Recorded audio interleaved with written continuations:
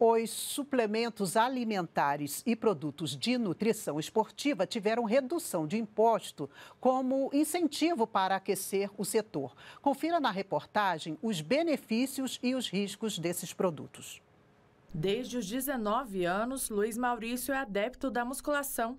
Hoje, aos 57, ele conta que mantém uma rotina diária de exercícios e, para turbinar ainda mais os resultados, recorre a suplementos proteicos. A academia é um, é um, é um modo de vida que você escolhe, entendeu?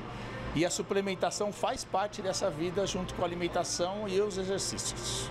Existem diversos tipos de suplementos no mercado e cada um tem uma função específica. O whey protein, por exemplo, é produzido a partir da proteína extraída do soro do leite, com o objetivo de reparar o dano na fibra muscular após o treino. Cada vez mais tem mais estudos né, científicos e comprovando a, a eficácia deles na saúde. Então, tem uma quantidade enorme de suplementação. Segundo Rodrigo, houve um aumento da procura durante a pandemia de Covid-19 e a oferta do mercado não conseguiu acompanhar.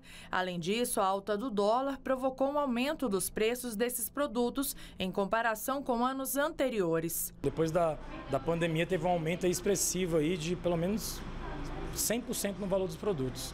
Uma novidade que pode beneficiar o mercado de suplementos alimentares no Brasil é a redução do imposto de importação destes produtos. O whey protein e a creatina tiveram a taxa zerada. O governo também reduziu de 11,2% para 4% os impostos de diversos outros produtos, como proteínas lácteas e albumina.